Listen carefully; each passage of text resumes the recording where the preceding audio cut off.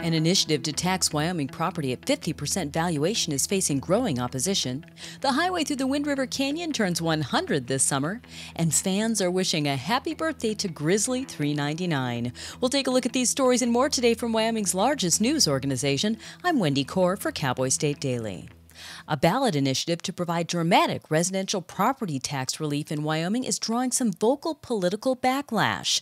Political reporter Leo Wolfson says that some legislators are worried that a proposed initiative allowing Wyoming homeowners to have their property taxed at 50% of its assessed value would create such a hit to state revenues that it would lead to a state income tax to fund Wyoming schools. The Wyoming caucus spoke against this ballot initiative. They said it's going to cost the state way too much money and it's not the right approach to property tax reform. The Wyoming Department of Revenue estimated that the initiative would cause a $143 million hit to total revenue statewide in its first tax year of 2025. By 2026, that would increase to 147 million. The longest highway in America contains a 20 mile section of roadway in Wyoming that was, at the time, America's most expensive section of road. Cowboy State Daily's Renee Jean reports that the road through the Wind River Canyon in central Wyoming cost a million dollars to construct and nearly bankrupted the company that was building it. The dearly bought stretch of highway, that's also a 2 billion year geologic journey through time, will turn 100 years old this summer. It was dedicated in October of 1924, but it opened a little earlier in the summer so that people could take Sunday drives along this newly completed portion of highway. And the the whole road was the Yellowstone Highway in Wyoming and Colorado. Thermopolis Tourism Director Jackie Dorothy is working on plans to celebrate the anniversary with a Sunday bus tour, as well as stickers to commemorate the occasion and a complete history of the ambitious project. Well, there will be no live horse racing at Frontier Park after all. Cheyenne Frontier Days announced Friday that it's decided it won't pursue a lucrative proposal to host 16 days of live horse racing at Frontier Park, which would have brought Cheyenne's flagship event a little extra money for the looming maintenance issues it's facing. Tom Hirsig, CEO of Cheyenne Frontier Days, told Cowboy State Daily the organization has simply decided the event didn't really fit their brand after all, though it could have brought in some money for upcoming repairs.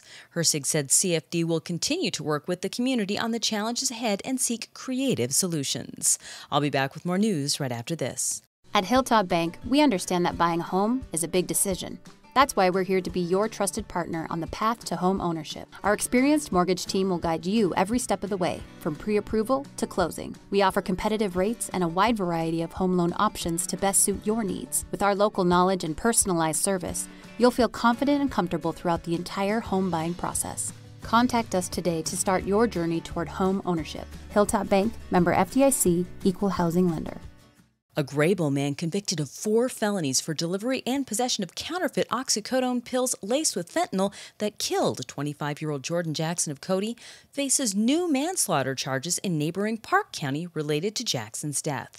Cowboy State Daily's Jen Kocher reports that until now, 36 year old Anthony Michael Fuentes had not been charged with any crimes related to Jackson's death of an overdose on January 3, 2023 so this is a big deal that it was actually tied to the death of Jordan Jackson because prior he was just convicted and accused of charges with possession and delivery. And the fact that it did lead to Jordan Jackson's death was not in any way part of this case. Prior to the manslaughter charge, Fuentes pleaded no contest to the original four felony drug charges in Bighorn County and was sentenced to three to five years in Wyoming State Prison. And Wyoming's most famous bear, Grizzly 399, reached a significant milestone this month when she hit age 28. But Outdoors reporter Mark Heinz says she'll have to last at least another six years to match the longest known lifespan of a grizzly in the northern Rockies region. So we don't know the exact date of her birthday, but we can logically deduce that she was likely born in January. So we're celebrating her turning 28, which is quite a milestone. Grizzlies don't generally live past 25 in the wild. And the people I talked to said, you know, given her overall physical shape, there's a good chance that she'll survive at least long enough to get her latest cub raised and out on his own. Grizzly 399 has spent most of her life in Teton National Park and gained a worldwide fan base when wildlife photographers began sharing images of her and her various litters of cubs across social media. And that's today's news. Get your free digital subscription to Wyoming's only statewide newspaper by hitting the subscribe button on CowboyStateDaily.com. I'm Wendy Corr for Cowboy State Daily.